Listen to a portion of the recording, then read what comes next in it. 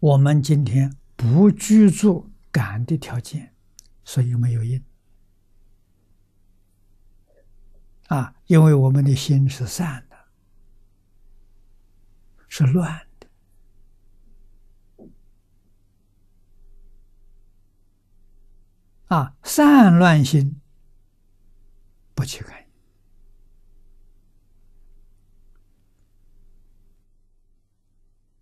即定心就有感应。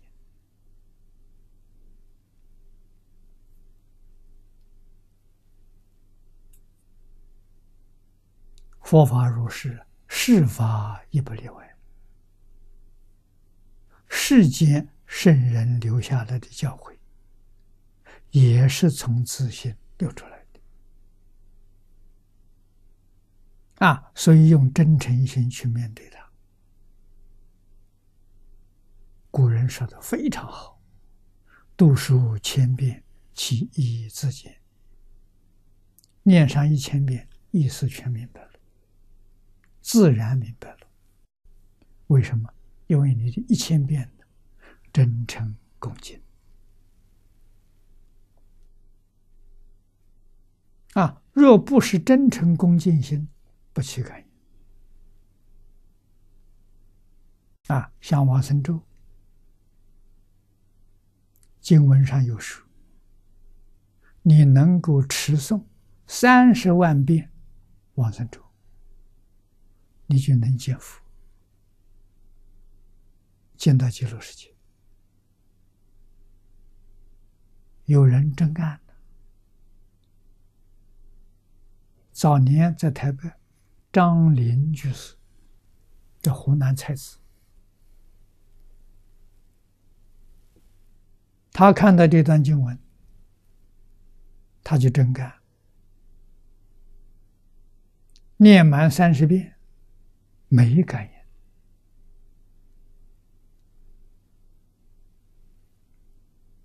应。啊，来跟我说，这精神讲三，我念了三十三十万遍的，为什么没有感应？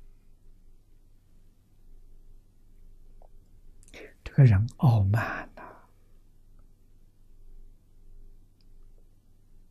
你是沉用沉静心，念经的时候沉静心，不念经的时候沉静心就没有了，这不可以啊！啊，待人接物没有沉静心，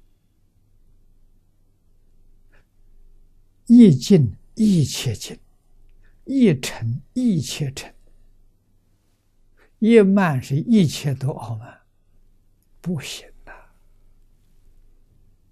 啊，不能怪不灵啊，怪自己没有清净心啊！啊，为什么锅炉匠念了三年佛就能见佛，日之时至，站着往生？为什么他没有傲慢心？他非常谦虚。如果勾罗匠是个才子，念三年、三十年也不会有感应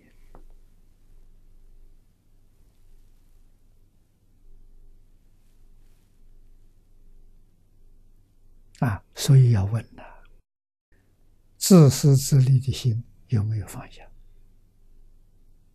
功高我慢的心有没有放下？那自己的烦恼啊！贪嗔痴有没有放下？通通没放下了。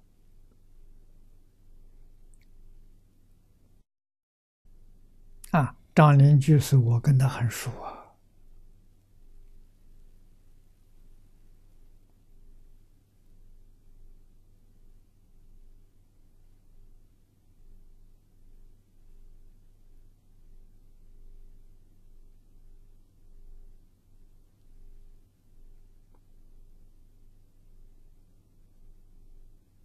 那些文人习气很重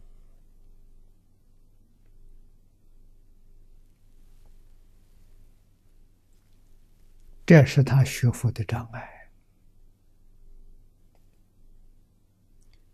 三十万遍往生咒没有白念，阿赖耶识里头种了很好的种子，这一生不能往生，来生后世遇到佛缘，他决定得生净土，啊，不知道是什么时候。